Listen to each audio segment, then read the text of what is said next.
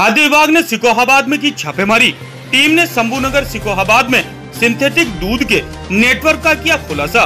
मौके से 40 लीटर तैयार सिंथेटिक दूध किया बरामद। रिफाइंड तथा अन्य कई केमिकल से तैयार किया जा रहा था दूध।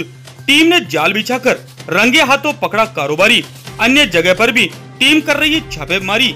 अभिहित अधिकारी डॉक्टर सुधीर कुमार सिंह के निर्देशन में टीम ने की कार्रवाई। नवभारत समाचार, फिरोजाबाद, उत्तर प्रदेश से वेद प्रकाश सिंह।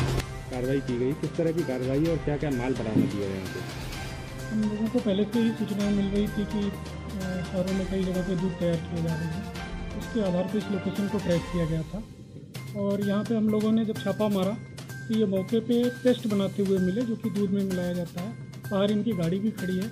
यहाँ पे 25 किलो ये जो है सर्विटाल मिला है।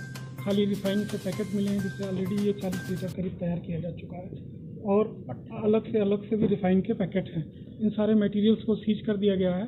चार नमूने लिए गए हैं। इन नमूनों को जाँच पे भिजवाया जा रहा है। बाकी इनके खिलाफ एफ़ आई आर दर्ज करा के लगभग डेयरी से कितने लाख रुपए का माल बरामद हुआ होगा और इसके खाने से क्या क्या सेहत पे असर होंगे? ये माल जो है बरामद हुआ है। ये माल एक्चुअली यहाँ नहीं बनता था। यहाँ केवल सिर्फ़ ये लोग पेस्ट बनाते थे।